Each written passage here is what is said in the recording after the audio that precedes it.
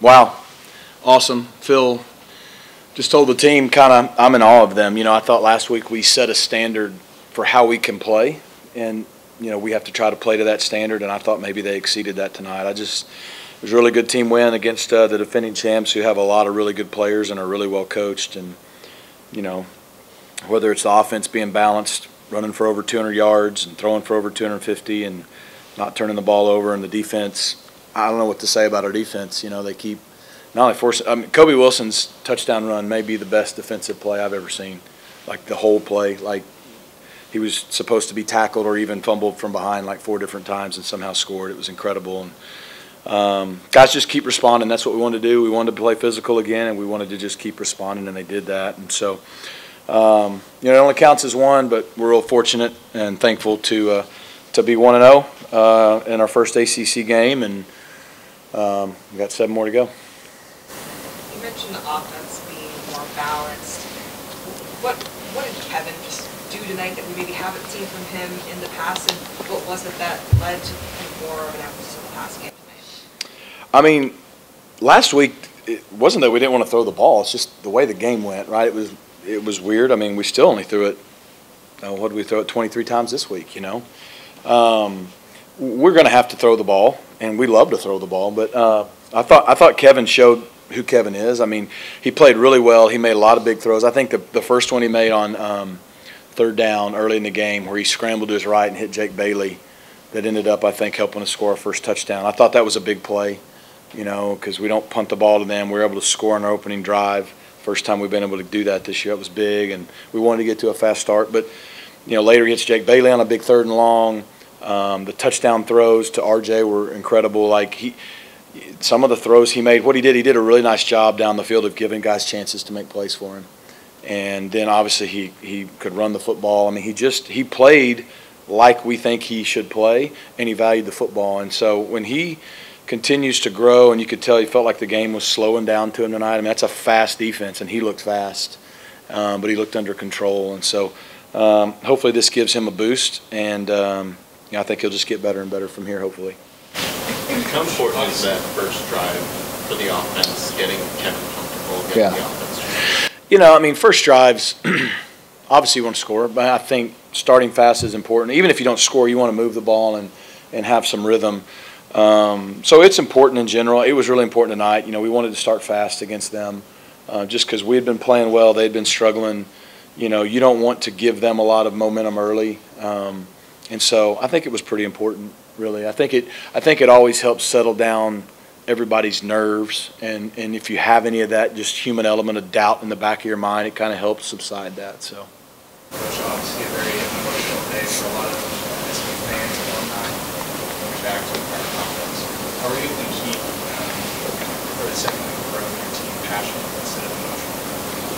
It's tough. Credit to them. Credit to our coaches. You know, I mean, you can have an idea or a plan, but someone's got to go execute it. And um, our coaches do an awesome job in each one of their individual rooms um, and on each side of the ball of just coaching our guys. And, you know, we, we talked about this week, it wasn't that we knew who we were playing. We just talked about let's play our, to our standard to where we can look in the mirror and feel like okay, we, we did our best. We did what we're capable of. And if that's not good enough, then fine. We think it will be. Um, and to your point, like they, they don't play emotion. They play with a lot of passion. I mean, they play with a lot of joy and love. I mean, I looked at our D line when they had third and goal to three and then fourth and goal to two, and they're just out there just getting the crowd up, goofing around, whatever. I'm like, I'm a little more serious right now than you guys are, but they do. They have fun playing together, and um, you know, that's a it's a great quality that I'm hoping is becoming a fabric of this team because we're going to need it. I mean, we're about to go on the road, and, and going on the road in a conference like this is totally different, and uh, it's just a new set of challenges. The the pressure. I, I don't know. I didn't think about it. You know, I mean, um, I wanted to win. You know, it's an opportunity. I mean, this is a big moment for SMU, uh, and people have talked about it a lot. We've been talking for 10 or 11 months, so I'm glad we can maybe move on from some of that. But it's but it's all been good. It, it it's uh, you know Eric Dickerson was in the locker room after the game and talked to the team and he talked about man we've been waiting for this for 30 years. He's like this is how we used to play and you made us proud those kind of things. But you know, it, it's hard to put into words in a short answer of, of all the things that this means to just the SMU family and anyone who's connected to the university, past, present, uh, or will be.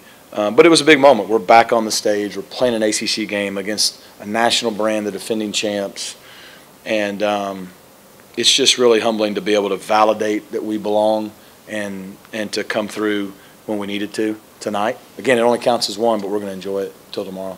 Were you able to take in any of the Pat Petrino pregame with, you know, with Eric Dickerson as well as like, you know, uh, President Bush, you know, with the coin toss? You just so like sitting on the. Yeah, you don't get to enjoy it in the moment as much. Um, I did get to see President Bush out there, which is always cool, and uh, have so much respect for him. But no, I, I didn't. Uh, I didn't get all caught up in all that or get to enjoy it either. But it's worth it to get to enjoy that locker room. I just got to enjoy. So.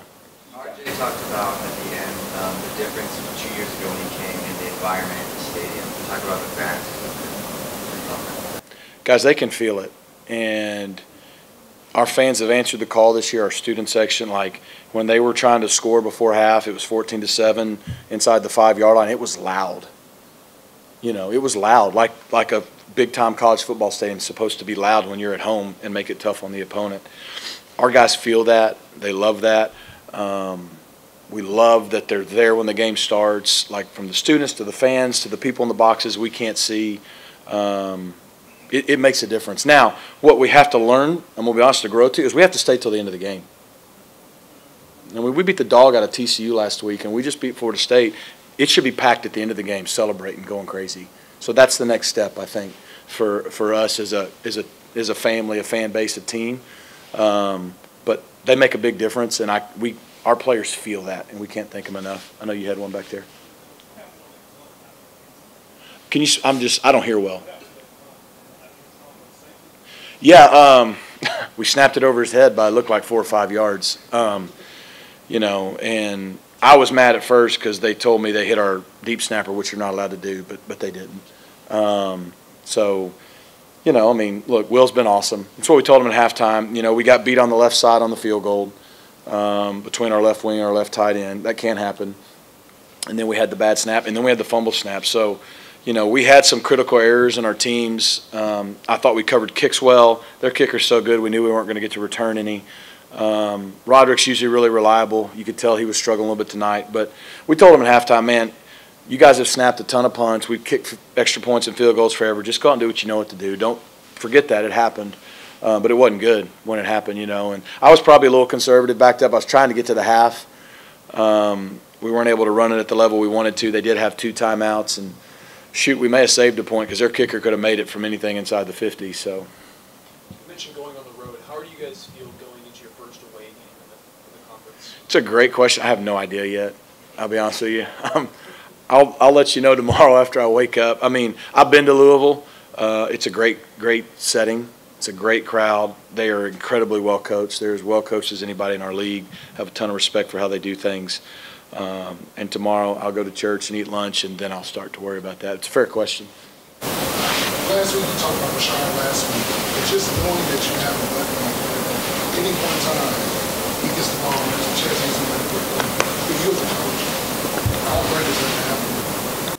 Oh, it's huge. And you see the versatility he has. I mean, he can run in between the tackles. He can run outside. He can catch the ball out of the backfield. You, you know, we flexed him out thinking we'd get the matchup on the linebacker, but because we had already, you know, we scored a touchdown on RJ, got him matched up on a linebacker. They and and did a few other things throughout the game. They they said no more of that.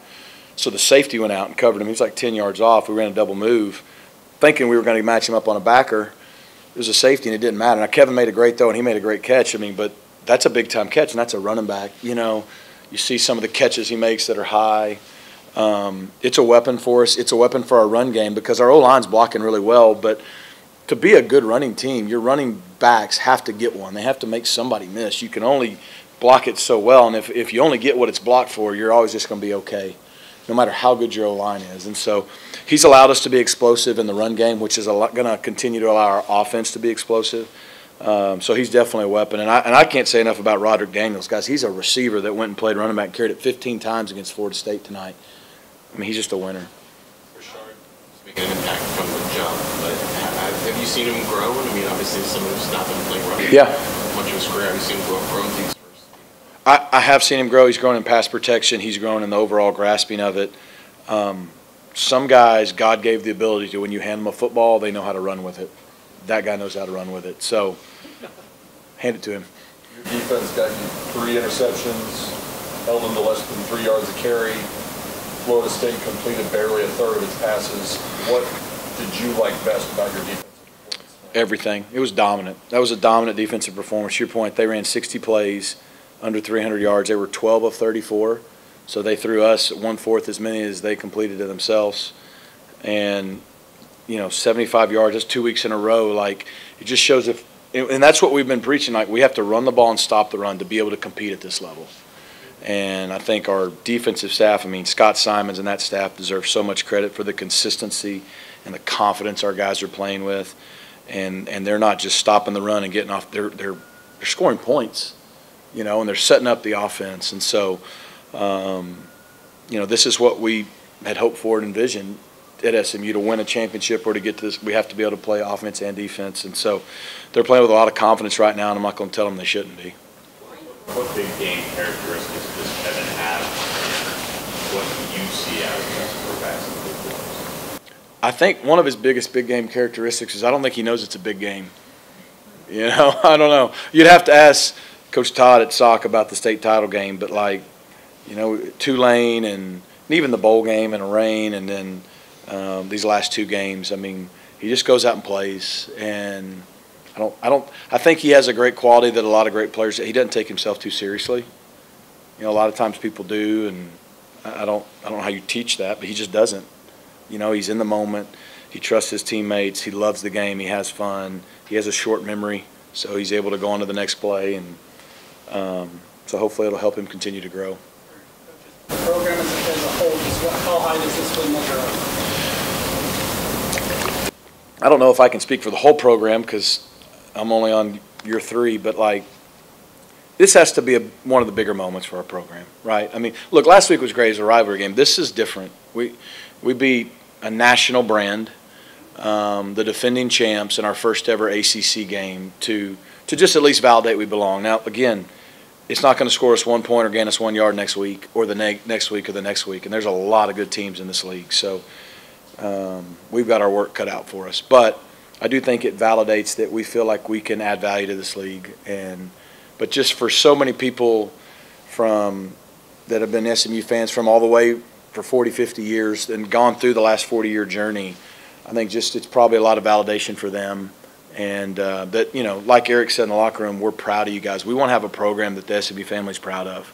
And we're not going to win every game, but, but we sure want to make our fan base and our alumni proud by how we play and what we do. And so I think for those reasons, this is a big game. It's a big moment. And we'll look back at the end of the year or whenever and, and probably realize it. Right now, we don't have a lot of time to reflect, but, but I do think it's a big deal, yeah. Coach, on that ball that Jonathan McGill intercepted gave his parents, Florida State took it back because it's their ball. Are y'all going to give McGill's another ball? So what happened? The Florida State took it back because it was a Florida State ball that he gave to his parents. Yeah, I didn't know he gave it to his parents, so that's awesome. Cool. I guess he's trying to do what Isaiah Nwokobia did last year. Um, it's probably good we get that they that uh, they gave it back. I guess that technically would be stealing. So it's called a turnover within the confines of football. It's stealing outside of it. So uh, yeah, if the McGills need a football, we'll figure that out. Coach, you touched on it, just, um, not, not that off of our program, it's typically, if they're gonna have like a month stretch, it would be at home, you know, for four games, uh, you're going on the road for a month. Six weeks before we get to be here again. Yeah, I mean, only three games. Sounds a little more dramatic, but yeah, no, I mean, it's, we want to be in this kind of conference and, and compete. We're about to find out, you know, because we're about to go to one of the best venues in our league to play, and then we're going to go as far west as you can go and as far as east as you can go back to back, and uh, against three outstanding coaches. You know, I know two of them very well, and and have a lot of respect for the other, and so. Um, but we're going to enjoy this. I mean, they had not given up over 29 points as a defense in 17 straight games dating back to the beginning of last season, if you don't count the Georgia game. That's a caveat, but their whole team opted out. So all 12 regular season games in Louisville last year and four this year, they've not given up over 30 points. They've been playing really good defense. And, um, you know, and then the stat I was told this week, all the way back to when Utah and TCU went to the Pac-12 and the Big 12, and then the four schools last year. Those six teams were only one and five in their uh, first ever game in a conference, and none of them have ever had a winning record in the first year in a conference, winning conference record. So uh, we don't have one yet either, but um, we've got one win, and we're a step in the right direction. So we know the, the uphill battle we have ahead, and it starts with going on the road to Louisville. And um, fortunately, you know, we did go to OU last year. Um, so hopefully those kind of moments, went to Maryland the year before, hopefully those kind of venues will help us for that setting. Coach, any update you can give on Tank Booker and Zoe? Cannot give you an update on Tank because I, I haven't gotten one, but he was smiling big when we were breaking that rock in the locker room and dancing around. So whatever's hurt, it's not hurting too bad right now. So I don't know the extent of that. Uh, Romello, we uh, we knew by about Thursday or Friday we were probably gonna have to hold him. He has some bursitis and stuff in his knee um, that kind of tweaked in the Nevada game. It's been lingering re-aggravated it on Wednesday's practice. So what we're going to do is probably look at it on Monday. So I don't. He's probably still week to week at this point. We don't think it's anything serious, but you know, it was just kind of bothering him. So I thought, you know, Keyshawn and Moochie and uh, Hud did a really good job in a three-man rotation out there on the outside. Um, was there anybody else you asked about? No. What's recruiting looking like for you guys? I mean, with these two big games, I mean, you want to strike with the iron top, but also hit dead here. Yeah, it's no, it's it's good. I mean, we sold out our ticket allotment for recruits for the first time ever tonight. We had to like tell people, sorry, if you walk up, we don't have a ticket for you. That's never happened. Um, there's a lot of really good players here. So, um, look, I said I think last week, winning's the best thing you can do for recruiting. We got a lot of momentum behind the program, the conference piece. You know, I think for recruits to be able to come to Ford Stadium, see the Weber End Zone complex, it's it's impressive, guys, for no matter where you are, and then see the atmosphere in our stadium now and how it changes things, and to see a brand like Florida State across from us, and um, for how that that turned out, I think I think it's all very very helpful. But again, you're only as good as your last game, so we got to play well, keep the momentum going.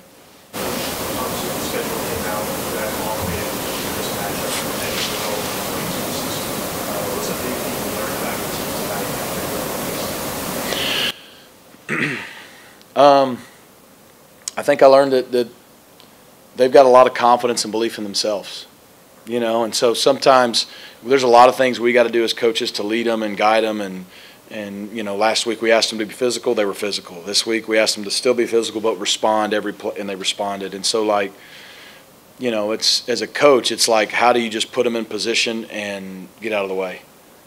You know, not mess it up. They've got good culture, good continuity, offense, defense, teams together. Winning helps. You know, if you're four and one, it's a lot easier than if you're one and four. You know what I mean? So, but that's how you build confidence. You got to accomplish confidence. We've accomplished confidence the last few weeks, and together as a group, they're playing that way with confidence and belief. And uh, so we definitely don't want to throw cold water on that. You know, we want to we want to build on that and help help that continue to grow. Who broke the rock to get, Last question. how important was it to get RJ more involved? It was really important. You know, we had a bunch of options for him that some they took away. Uh, we felt like their length at corner was. We didn't. We weren't scared of them. We had guys make plays, and, and after being on the field with them, I feel like our guys belong. But we felt like they had length and speed at corner. But between RJ and Jake Bailey and the running backs, we could match up on safeties and linebackers and, and have some success. We had some other opportunities that didn't come to fruition the way we wanted. Some we didn't call. But like, you know, I think a great example is the first touchdown to RJ, we went in a three tight end, one receiver package, which we hardly ever do. Well, they match personnel. There was one corner on the field covering Jordan Hudson. They put a linebacker on RJ Maryland. It's really good for us. So, um, you know, those kind of things. But yeah, to get him going, I think he, he broke the record tonight, I'm assuming, because he was one away and he caught two. So that's pretty cool. Halfway, not even halfway into your third year. Um, but no, he's a player. He's a playmaker for us, and and you know, getting him involved is got to be a big part of what we do. And I think he deserves a lot of credit because, you know, even after the first game, he hadn't caught as many maybe balls as he and we would have wanted, and he's practiced just as hard or harder every week. He's been physical in the run game when we asked him to be. Like he's been the ultimate team guy, and I think you saw what he can do tonight. And Kevin gave him opportunities. Who broke the rock and with as many people who contributed? A lot of people could. Who do you think broke the rock? Well, I just got told, but Kobe Wilson broke the rock. Um, a lot of guys deserve to break the rock, and as I walk in, Grizz always kind of talks to me, and he's like, "I don't." I- After I saw that run, guys, that was that was all I needed to see. But uh, I'll say this, you know, um, thoughts and prayers are going to stay with the Florida State team. You know, they had to leave a day early, and I know a lot of their families. Fortunately, their the university was, I think, pretty safe, and a lot. Of, Mike was telling me before the game, I think a lot of their families are in good shape, but not just them, everyone in the southeast. I know it's been pretty devastating. So, um, I want to continue to think about those people and lift them up in our prayers because it's a lot of more important things in football going on right now, and you know they're having to deal with a lot of that. And uh, so, thinking about those guys. Appreciate you. Thanks, Coach.